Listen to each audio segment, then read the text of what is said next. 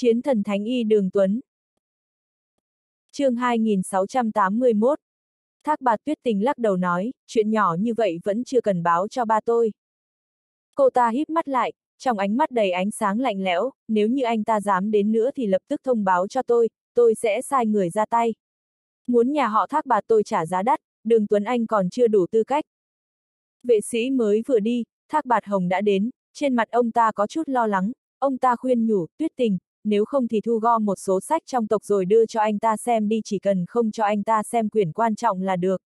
Dù sao anh ta cũng là tên cảnh giới hóa thần, không cần thiết đắc tội anh ta như vậy. Thác bạt tuyết tình cầm nhẫn không gian kia trong tay ném vào bể nước cách đó không xa như ném rác, cô ta khinh thường nói, chú Hồng, chú đang nghĩ gì đấy? Lý Quân Thành có bản lĩnh đó mới có thể ép nhà họ thác bạt chúng ta mở sách cổ cho ông ta, đường tuấn này ngoại trừ dựa vào pháp bảo, còn có bản lĩnh gì, có tư cách gì bắt nhà họ thác bà ta thu gom sách cho anh ta. Audio điện tử võ tấn bền. Giọng nói của cô ta bỗng nhiên trở nên uy nghiêm đáng sợ, nếu như anh ta thật sự dám đến, vậy cháu sẽ khiến anh ta mãi mãi lưu lại nhà họ thác bạt. Nếu như không phải cháu không muốn quấy giày ba và Lý Quân Thành thì cháu đã ra tay ngay rồi. Chú Hồng, chuyện này chú đừng quan tâm nữa, cháu xử lý là được. Chú ở trong hỏa hạc cốc cũng bị anh ta hù dọa đến nỗi sợ mất mật, cháu thấy tốt hơn là chú vẫn nên nghỉ ngơi một thời gian. Sắc mặt thác bạt hồng khó coi. Tuyết tình, chuyện gì khiến em tức giận như vậy, cần anh giúp đỡ sao? Đúng lúc này có một tiếng cười truyền vào. Thác bạt tuyết tình nghe được tiếng nói này, giữa hai hàng lông mày hiện lên vẻ chán ghét. Đi vào sân chính là chàng thanh niên bên cạnh Lý Quân Thành. Ánh mắt chàng thanh niên nóng bỏng nhìn thác bạt tuyết tình nói, tuyết tình, bây giờ em và anh cũng xem như sư huynh muội, có phiền toái gì cứ việc nói, đừng khách khí. Lời của chàng thanh niên không những không khiến thác bạt tuyết tình cảm thấy yên tâm, vẻ chán ghét trong lòng ngược lại càng tăng thêm mấy phần. Người đàn ông trước mắt này tên Hoàng Tâm, là đệ tử thân truyền của Lý Quân Thành, có thiên phú phi phàm ở cả y đạo và tu luyện. Tuổi không kém thác bạt tuyết tình là bao, nhưng tu vị đã đạt tới cảnh giới hóa thần trung kỳ, trình độ y thuật càng vượt mặt thác bạt tuyết tình. Bây giờ Lý Quân Thành ở nhà họ thác bạt, còn đồng ý giải đáp thắc mắc và nghi vấn cho thác bạt tuyết tình, dựa theo vai vế mà nói, Hoàng Tâm quả thực xem như sư huynh của cô ta. Chỉ tiếc trong lòng thác bạt tuyết tình rất khó nảy sinh một chút lòng tôn kính với vị sư huynh này. Nguyên nhân không phải điều gì khác, ánh mắt Hoàng Tâm nhìn cô ta đều giống hệt phần lớn đàn ông, đều lộ ra dục vọng và ham muốn chiếm hữu. Đây là chỗ khiến thác bạt tuyết tình ghét nhất. Không cần làm phiền sư huynh Hoàng Tâm, chỉ là chuyện nhỏ mà thôi, tự tôi có thể giải quyết. Thác bạt tuyết tình rất khách khí nói. Da mặt trắng mịn của Hoàng Tâm khẽ giật giật, anh ta dùng một loại giọng điệu mập mờ nói, sư muội đúng là khách khí, chúng ta bây giờ cũng xem như là người một nhà. Nếu như em có chuyện gì khó xử, người làm sư huynh như anh đương nhiên phải hết sức giúp đỡ. Vẻ mặt thác bạt tuyết tình không hề bị dao động, cô ta hờ hững nói, sư huynh Hoàng Tâm đến tìm tôi có chuyện gì không? Chương 2682 Cô ta không muốn phí lời với tên đáng ghét này nữa. Trong ánh mắt của Hoàng Tâm lộ ra vẻ không vui, anh ta cười nói, anh nghe theo lời của thầy đến mang em tới. Sư muội Thác Bạt khá quen thuộc với sách cổ nhà họ Thác Bạt, thầy muốn hỏi thăm em vài chuyện. Thác Bạt tuyết tình gật đầu, lặng lẽ nhảy mắt với Thác Bạt Hồng, chú Hồng, về chuyện này cứ dựa theo cách cháu nói mà xử lý. Cháu không hy vọng quấy dày đến ba cháu. Thác bạt hồng không thể làm gì khác hơn là gật đầu đáp lại. Con mắt thác bạt tuyết tình híp lại, trong lòng cô ta lạnh lẽo, thầm nói, đường Tuấn, tôi xem anh chuẩn bị làm sao để bắt tôi trả giá đắt. Thời gian một ngày nhanh chóng trôi qua, đường Tuấn đợi cả ngày ở huyện Huyền Thủy, nhưng không có một người nhà họ thác bạt nào tới tìm anh. Trong bóng đêm mơ hồ, đường Tuấn đứng cách sinh thự nhà họ thác bạt cách đó không xa, lạnh lùng nhìn sang. Vẻ mặt anh vô cùng lạnh lùng, trong ánh mắt hiện lên vẻ tức giận. Anh đã cho thác bà tuyết tình cơ hội, là cô ta không quý trọng. Đường Tuấn duỗi người một cái, sau đó cất bước đi về phía nhà họ thác bạt. Bởi vì thể chất người tu hành khá mạnh mẽ, cho nên vệ sĩ trước cửa nhà họ thác bạt cũng không đổi người, vẫn là mấy tên ngày hôm qua kia. Cũng đã qua một ngày rồi, tên hôm qua kia sẽ đến chứ. Tôi ngược lại hy vọng anh ta dám đến, còn dám uy hiếp cô chủ cả ở huyện Huyền Thủy, anh ta quả thực chán sống rồi. Đúng lúc để chúng ta hoạt động gân cốt một chút. Ha ha ha, nhà họ thác bạt sừng sững ở huyện Huyền Thủy nhiều năm như vậy, còn chưa có ai dám chủ động tìm tới cửa. Tên đó nếu như thật sự dám đến, tôi tuyệt đối sẽ khiến anh ta nằm thẳng mà đi ra ngoài. Đang là đêm khuya, đám người rõ ràng hời hợt hơn, bọn họ đang nhỏ giọng trò chuyện. Thật sao? Ngay lúc đám người bàn bạc phải dùng cách gì giết chết đường Tuấn, một giọng nói lạnh như băng theo gió đêm truyền tới bên tai họ. Trong lòng bọn họ dùng mình, sinh ra dự cảm không lành, hơn nữa bọn họ còn cùng nhau nhìn về phía cửa, lộ ra vẻ mặt kinh ngạc, anh vậy mà thật sự đến rồi. Cút ngay, đường Tuấn nhìn đám người khế quất một tiếng. Âm thanh như sóng chiều bao phủ bốn phía, mấy tên vệ sĩ kia còn chưa nói hết đã bị chấn động bay ra ngoài. Âm âm âm, âm thanh liên tục vang lên. Mấy tên vệ sĩ gần như cùng lúc va vào trên cửa chính nhà họ thác bạt, sau đó cùng phun ra một ngụm máu tươi, vẻ mặt khiếp sợ nhìn về phía đường Tuấn. Tên này tính mạnh mẽ xông vào nhà họ thác bạt sao? Đường Tuấn chuẩn bị đi về phía trước, tên đội trưởng vệ sĩ quát lên, lập tức dừng lại, nếu không anh chuẩn bị đối mặt sự trừng phạt của nhà họ thác bạt đi. Đường Tuấn liếc mắt nhìn anh ta nói, thác bạt tuyết tình nợ tôi đồ, tôi chỉ tới lấy lại thứ tôi nên có. Các anh dám ngăn cản tôi, tôi sẽ giết chết các anh thật đó. Mấy tên vệ sĩ kia cùng nhau sừng sốt, vốn dĩ còn muốn ra tay nhưng đã lập tức thu lại suy nghĩ nhất thời. chương 2683 Bọn họ cũng nhìn thấy thực lực vừa này đường Tuấn thể hiện, tuyệt đối đạt đến trình độ cảnh giới hóa thần, không phải người như bọn họ có thể so sánh. Ngay lúc đám người sững sờ, đường Tuấn đã đi vào nhà họ thác bạt. Cô chủ cả, người buổi sáng kia đến rồi. Anh ta đánh tôi bị thương, bây giờ đã xông vào rồi. Trong cùng một lúc, Thác Bạt Tuyết Tình nhận được tin tức truyền đến của đám vệ sĩ. Thác Bạt Tuyết Tình vốn dĩ đang tu luyện, lúc này đột nhiên đứng lên, nhếch miệng nở nụ cười tàn nhẫn, đường Tuấn, đây là anh tự tìm tới.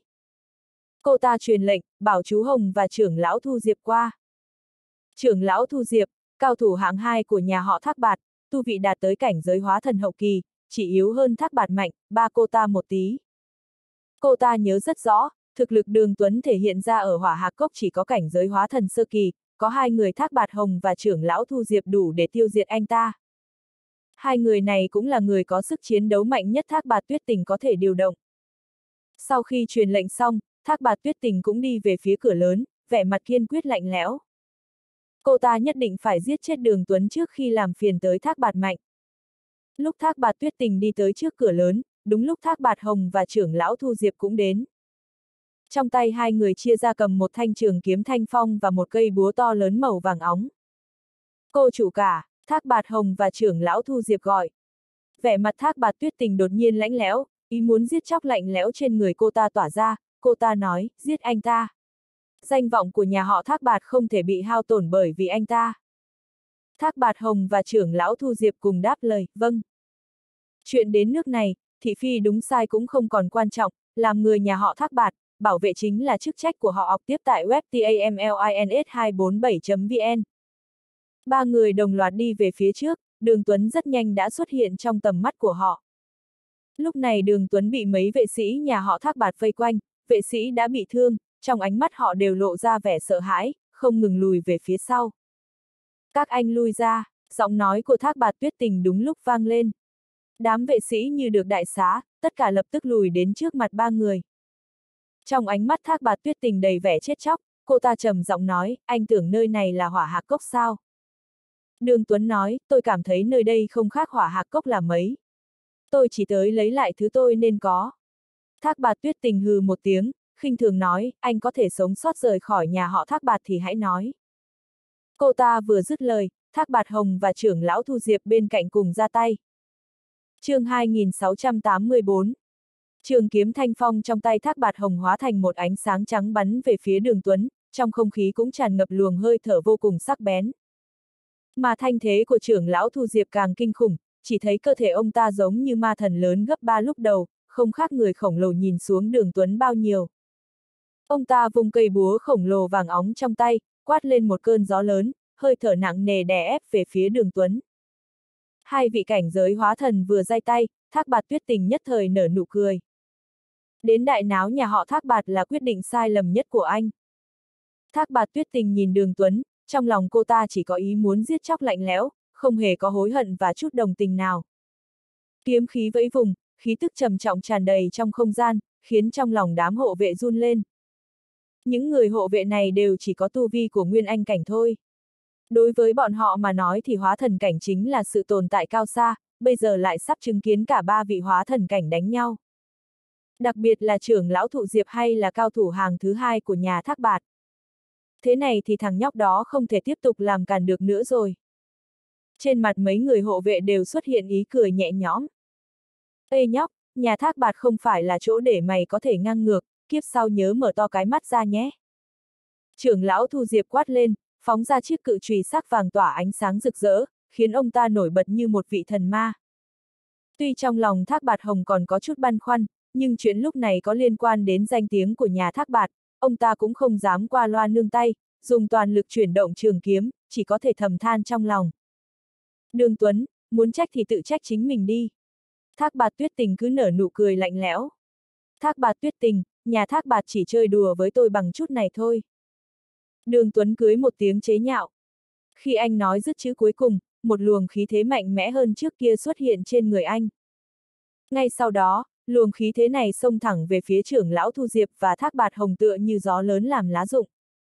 Chỉ trong thời gian đối đầu ngắn ngủi, trường kiếm đã bay ngược trở lại ngay lập tức, phút phút, một tiếng trực tiếp xuyên thẳng vào vai thác bạt hồng, máu tươi bắn ra tung tóe, ông ta lập tức ngã xuống. Tu vi của trưởng lão Thu Diệp tương đối cao, cự trùy sắc vàng rồng bay ngược lại, nhưng thế mà lại rất một vết dạn. Ánh mắt trưởng lão Thu Diệp đầy sự hoảng sợ, cự trùy là pháp bảo mà ông ta dùng cả tính mạng để luyện ra, nếu thật sự cứ vỡ vụn như vậy, vậy thực lực của ông ta sẽ yếu đi nửa phần. Không nghĩ nhiều nữa, trưởng lão Thu Diệp cắn cắn lưỡi, một luồng máu tươi bắn lên trên cự trùy. chương 2685 Cự trùy lại phát ra một luồng hào quang một lần nữa, vết dạn nọ vậy mà lại có hơi phục hôi. Nhãi danh, mày dám phá hỏng đạo hạnh của tao, tao muốn mày phải chết. Trưởng lão Thu Diệp mở to mắt, ánh mắt toát ra sự giận dữ. Ông ta vốn không thèm để tâm tới đường Tuấn. Nhưng trong lúc này, Pháp bảo dùng cả tính mạng lại bị nứt vỡ, lại phí mất một ngụm máu của bản thân, cho dù có sự hỗ trợ của các loại bảo vật, cũng cần 10 năm tu luyện khổ cực mới có thể bù lại. Điều này khiến ông ta vừa sợ vừa giận, sát ý đã xuất hiện. Lão già như ông mà cũng đòi giết tôi. Loại người như ông, tôi còn chẳng biết đã giết bao kẻ rồi. Ánh mắt đường Tuấn trầm xuống. Hóa thần cảnh mà thôi, trong mắt anh cũng chỉ như gà đất chó sành. Cho dù bây giờ người anh đang bị thương nặng, chắc chắn cũng không phải là kẻ mà một hóa thần cảnh có thể khiêu khích được. Đường Tuấn nói xong, sau đó tay anh chém một phát, một luồng khí tức cực kỳ sắc bén chém ở ở giữa khiến thân cự trùy thành hai nửa tiếp tại TAMLINS247.vn. Phút. Trưởng lão Thu Diệp không thể kìm được mà phun ra một mồm toàn là máu tươi, khí tức ngay lập tức suy yếu tới cực hạn, dường như sắp ngất rồi. Sắc mặt ông ta đầy vẻ hoảng sợ vô cùng, tựa như nhìn thấy điều gì kinh hoàng khủng khiếp. Thế mà ông ta lại thua, hơn nữa còn thua một cách thảm hại như vậy. Đối thủ chỉ là một thằng nhóc đạt tới trung kỳ hóa thần cảnh, điều này khiến ông ta thật không dám tin. Không chỉ ông ta, đám người thác bạt tuyết tình, thác bạt hồng cũng đều có vẻ mặt không thể tin được. Ai có thể ngờ được thực lực của đường Tuấn lại cao siêu như vậy, một mình có thể khiến hai vị cao thủ của nhà thác bạt bị thương nặng. Thác bạt tuyết tình nắm chặt tay lại, mặc kệ kết quả trận chiến này thế nào, có thể nói tổn thất của nhà thác bạt phải chịu cực kỳ nặng nề. Cô cả. Thác bạt hồng thở dài, nhìn thác bạt tuyết tình, ông ta hiểu rõ cảm giác lúc này của thác bạt tuyết tình hơn bất kỳ ai. Tâm tình của thác bạt tuyết tình tựa như chấn động, đủ loại suy nghĩ xuất hiện trong đầu, anh ta không phải là sơ kỳ hóa thần cảnh thôi sao? Không phải anh ta dựa vào pháp bảo mới có thể thuần phục được cửu viêm hạc hỏa sao? Thác bạt tuyết tình, bây giờ thế nào? Đường Tuấn từng bước đi về phía trước, cả tòa nhà của nhà thác bạt tựa như đều bị chấn động. Giọng đường Tuấn vang như tiếng sấm, quanh quẩn phía trên cả nhà thác bạt. Sắc mặt thác bạt tuyết tình trắng bệnh. chương 2686 Cô ta vốn muốn len lén không muốn phí sức mà giết hại đường Tuấn, xóa đi chuyện xấu hổ của bản thân, nhưng bây giờ không thể rồi. Đường Tuấn cất tiếng. Nếu cô cho tôi một lần xem điển tịch mà nhà thác bạt thu nhặt được theo ước định, hôm nay sẽ không xảy ra bất kỳ chuyện gì cả. Nhưng cô lại tỏ vẻ khôn lỏi, dùng những điển tịch có cấp bậc thấp nhất tới sỉ nhục tôi, thực sự tưởng là đường tuấn tôi dễ bắt nạt sao. Thác bà tuyết tình giận dữ đáp. Điển tịch truyền lại mấy nghìn năm của nhà thác bà tôi làm sao có thể mang cho anh xem được. Là anh không biết điều. Lúc này, tất cả mọi người ở đây đều nghe hiểu rõ rồi. Nguyên nhân của mọi chuyện hóa ra đều là do thác bà tuyết tình thất hứa. Tới hộ vệ cũng dùng ánh mắt kỳ quái nhìn cô ta. Sắc mặt thác bà tuyết tình trông rất khó coi, đúng lúc này một tiếng quát lớn vang lên. Nhãi nhép, mày dám đặt điều phái nữ của nhà thác bạt này à? Giọng nói ấy vang lên, một bóng người bay ra từ trong nhà thác bạt, cuối cùng dừng lại ở bên cạnh thác bạt tuyết tình, vẻ mặt đầy sát ý nhìn chằm chằm đường Tuấn. Chào gia chủ. Đám hộ vệ cùng đồng thanh. Người tới đúng là gia chủ nhà thác bạt, thác bạt mạnh. Thác bạt mạnh nhẹ giọng hỏi. Tuyết tình, đây là tên ăn mày mà con nói đó à? Thác bạt tuyết tình gật đầu cười khổ, mọi chuyện đã vượt qua khỏi phạm vi kiểm soát của cô ta. Khi cô ta cho rằng bản thân sẽ bị thác bạt mạnh trách mắng, giọng của thác bạt mạnh lại vang lên lần nữa. Tuyết tình, cái loại ăn mày không biết điều này chứ giết đi là được, tránh cho sau này lại rước phiền toái vào người. Sau này con sẽ tiếp quản nhà thác bạt, ta dạy con một đạo lý nhé, phàm là kẻ ngáng đường mình, cứ giết thực lực của mình mới là tất thảy. Nếu con không làm được, chỉ có thể thấy rõ rằng thực lực của con không đủ mạnh. Nói xong, một luồng khí thế toát ra từ trên người thác bạt mạnh. Hóa thần cảnh đỉnh phong, sắc mặt của tất cả mọi người đều thay đổi, vậy mà thác bạt mạnh lại không phải là hóa thần cảnh hậu kỳ, mà là hóa thần cảnh đỉnh phong. Có thể khiến tạo ra tay, mày đáng kiêu ngạo đấy. Thác bạt mạnh cất giọng lạnh lùng. Ông ta nói với thác bạt tuyết tình. Con xem, bố con sẽ giày vò nó thế nào nhé. Thác bạt tuyết tình gật đầu mạnh, giờ phút này lại kích động vô cùng. Đường Tuấn thấy thác bạt mạnh cực kỳ tự tin, chỉ hỏi ngược lại. Đây là thực lực mạnh nhất của nhà thác bạt các người à? Thác bạt mạnh chế giễu nói. Nhãi danh, bây giờ mày đang sợ hãi đấy à? Đường Tuấn lắc đầu đáp. chương 2687. Không đủ. Mọi người nhìn đường Tuấn như một kẻ ngốc. Hóa thần cảnh cảnh đỉnh phong. Ở cả quận Đan Dương đều là cao thủ đỉnh cao, vậy mà đường Tuấn lại nói không rủ. Thác bạt mạnh nở nụ cười lạnh lẽo, lắc đầu nói. Mày hiểu cái gì gọi là thực lực không? Đao đâu? Một thanh đao lớn bay ra từ trong nhà thác bạt theo tiếng hét lớn của thác bạt mạnh, ánh sáng chớp lóe, thanh đao lớn dài biến thành 10 trượng dài, chém xuống từ trên không trung. Dầm dầm, ánh sáng loáng của đạo bao phủ hơn phân nửa nhà thác bạt, cho dù có trận pháp ba lơ hộ, vẫn không ngăn chặn uy lực đáng sợ của đạo có nhiều không ngăn nhà bạt của đạo, có nhiều không ngừng bị đao chém thành bột mịn, thậm chí trong nhà thác bạt còn có người hầu bị thương nặng. Đáng tiếc thác bạt mạnh vẫn chẳng hành động gì, quyết tâm giết chết đường Tuấn không ai có thể giao động nổi. Thực lực, chỉ thế này mà cũng xứng gọi là thực lực, chỉ ông cũng dám nói dày vào tôi. Đường Tuấn nở nụ cười lạnh lẽo. Chờ một chữ cuối cùng vang lên, ngón tay anh vươn ra một chút, một luồng hơi sắc bén từ bầu ngón tay bắn vọt ra. Âm! Ánh đao vô hình như thủy tinh bị đập mạnh, thế mà bắt đầu vỡ vụn. Cùng với một tiếng phập vang lên, luồng hơi sắc bén xuyên thủng ngực phải thác bạt mạnh. Thác bạt mạnh giật nảy người.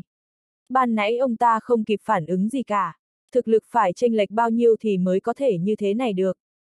Nụ cười trên mặt thác bạt tuyết tình cũng động lại, ánh mắt không ngừng chớp mở, cảnh tượng trước mắt này phá vỡ tưởng tượng của cô ta.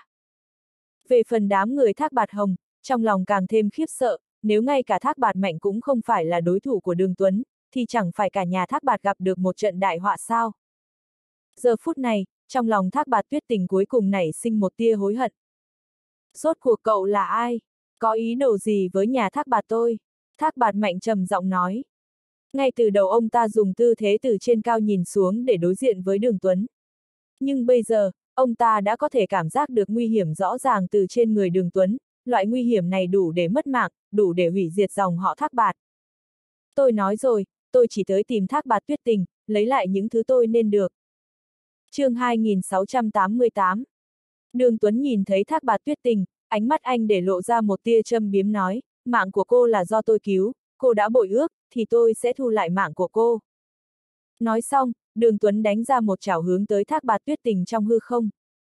Một hơi thở lạnh như băng phát ra từ trên người thác bạt tuyết tình, tóc và làn da cô ta xuất hiện từng vùng nhỏ bị kết băng, toàn thân như rơi vào khe nứt, run rẩy không ngừng.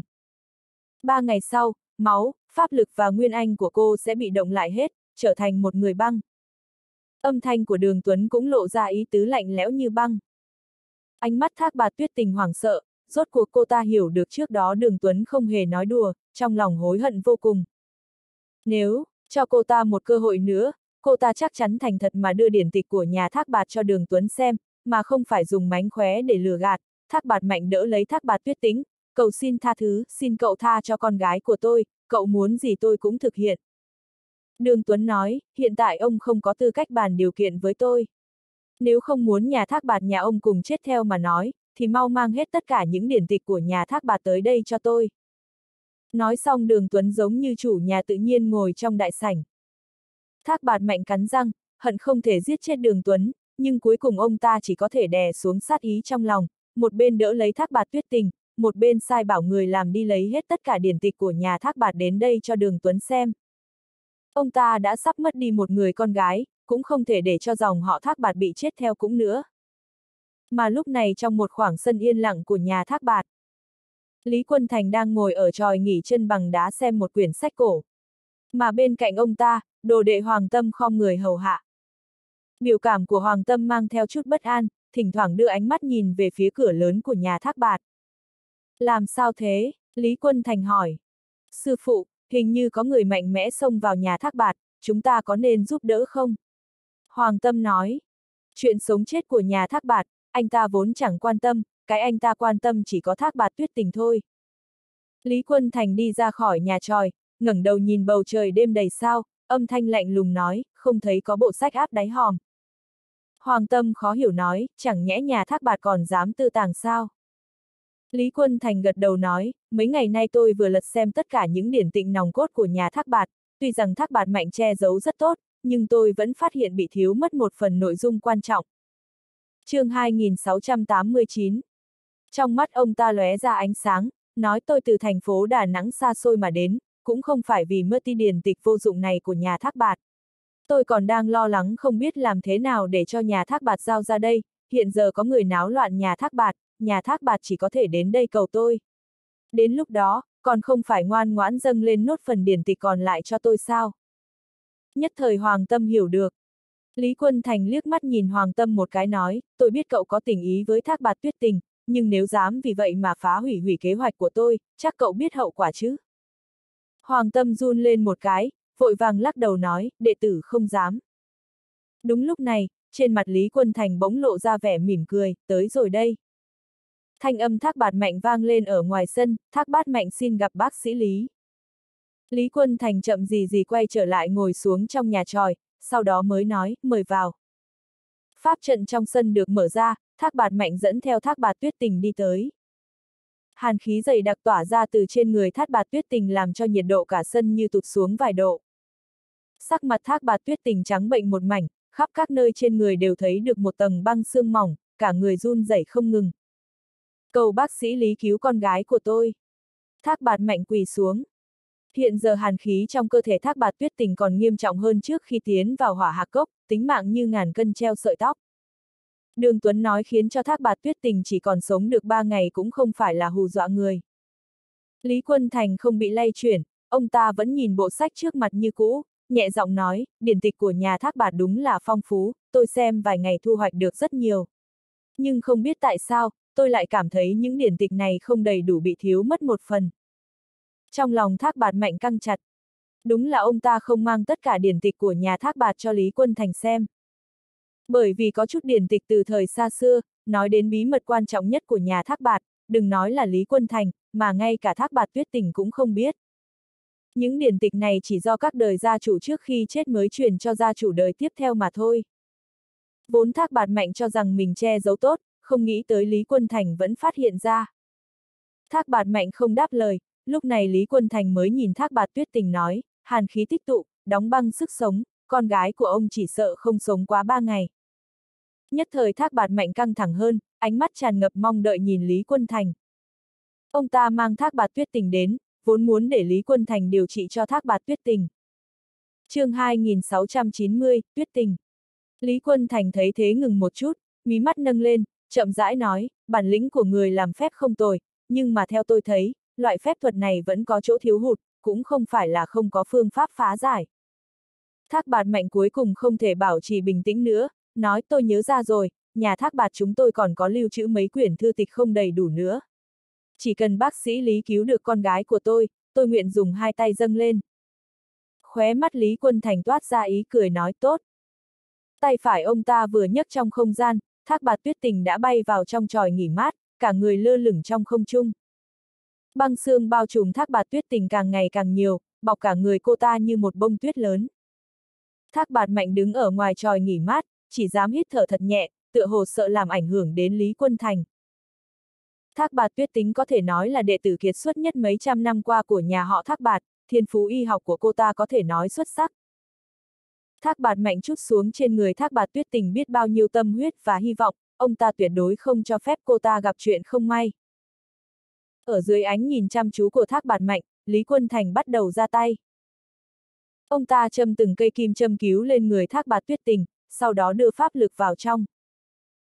Hóa ra những cây châm này bên trong trống rỗng. Hàn khí thoát ra, sắc mặt thác bạc tuyết tình thế mà xuất hiện một chút hồng hào. Nhìn thấy một màn này, trên mặt Lý Quân Thành lộ ra vẻ mỉm cười, nói tôi đây vốn nằm trong 10 người đứng đầu trên danh sách diệu thủ, một chút thuật pháp nho nhỏ này còn chưa làm khó tôi được. Diệu thủ, ở đây ý chỉ người tài giỏi, có khả năng chữa bệnh tốt. Thác bạt mạnh cũng lộ ra ý cười, nhưng trong lòng lại thở dài, lần này xem ra phải chắp tay dâng ra thư tịch quan trọng nhất của nhà họ thác bạt ra ngoài. Đúng lúc này, một luồng hàn khí càng thêm mãnh liệt từ trong cơ thể thác bạt tuyết tình bộc phát, thác bạt tuyết tình ngay lập tức phun ra một ngụm máu tươi, trong máu có lẫn những tinh thể bông tuyết màu lam. Khuôn mặt vừa khôi phục một chút hồng hào lại trở lên trắng bệch, thoạt nhìn qua thậm chí còn nghiêm trọng hơn lúc trước. Lý Quân Thành cũng bị luồng hàn khí này bước cho lùi lại hai ba bước, sắc mặt lúc xanh lúc trắng. Tuyết tình. Thác bạt mạnh vội vàng hô. Khi nói chuyện, thác bạt mạnh vội giơ hai tay để đỡ thác bạt tuyết tình. Sắc sắc, nhưng tay thác bạt mạnh còn chưa chạm đến thác bạt tuyết tình đã bị hàn khí đông lạnh. Audio điện tử võ tấn bền. Hết chương 2690